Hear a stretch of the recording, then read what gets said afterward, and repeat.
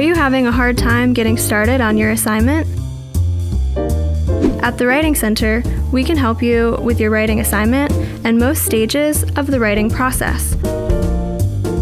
From searching for information and brainstorming ideas to outlining and drafting.